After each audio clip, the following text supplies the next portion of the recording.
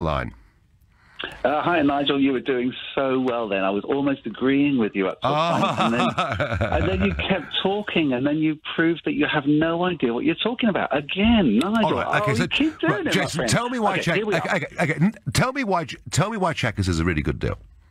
Chequers is dead. It was useless. It was pointless, and it was asking the European Union to do something that they cannot possibly do. Basically, break up the four freedoms of the single market, which is a fundamental underlying principle of the European Union. It would be like, in terms of population size, it would be like someone like Kazakhstan coming to the United Kingdom saying, "I demand a free trade deal with the United Kingdom, but I only want to deal with England and Wales, and I don't want to talk to Scotland, and I don't want to do anything with them. I want you to break up the United Kingdom in order to be able to work with us. It's just a ridiculous proposal, Chequers, and that's where you and I are in agreement. Right, so we agree about that. So, so, so, Yeah. so if she chucks Chequers, what next? Well, the, the only options on the table are, as you said, no deal. Yep.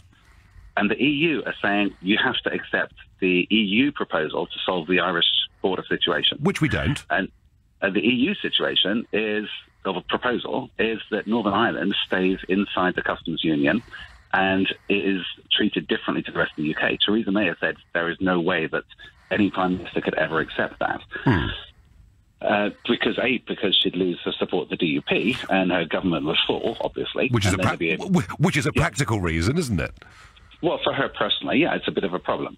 So I spent uh, last Thursday and Friday in Geneva. Um, we met with uh, non-stop, pretty much for two days, with international trade lawyers, geopolitical policy writers, uh, people who've been doing this stuff for donkey's years. WTO rules in the UK, the opinion of the the most expert experts that I've certainly ever come across, is that the first trade deal we're likely to get after we leave with a cliff edge and no deal Brexit, we would spend the fastest, quickest deal we get will probably be with a country that's got a liberalised trade policy similar to the UK's, somebody with a democratic, liberal style government similar to the UK's, and that would be Canada. That would be the quickest, fastest deal the UK would get, and that would be, take about two years, is their best estimate, if everything went smoothly. Well, Jason, I mean, hang on. The Yeah. Australians managed to negotiate a trade deal with America, which negotiating time was 10 months start to finish. So we could do better. But anyway, Jason, your point is so what is your point? Are you saying that if she chucks Chequers. I mean, what do you think she ought to do? Because we're really asking. She's got this dilemma, hasn't she? She's got everybody opposing Chequers, including you and me. What do you think she should do?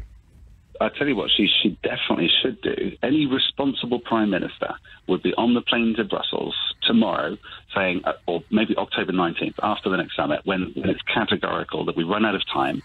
Uh, there is no deal on the table that's viable or feasible proposed by the United Kingdom. We haven't settled the Irish border situation. The, the UK government haven't done anything sensible towards the withdrawal agreement in two years. We've faffed around, wasted our time arguing amongst ourselves in Chequers and in Westminster. Um, when she realises there's no deal and the catastrophic Yeah. effect of Ca- that yeah, Jason, come. of time, I, I I know your opinion. Come to the point. What should she do?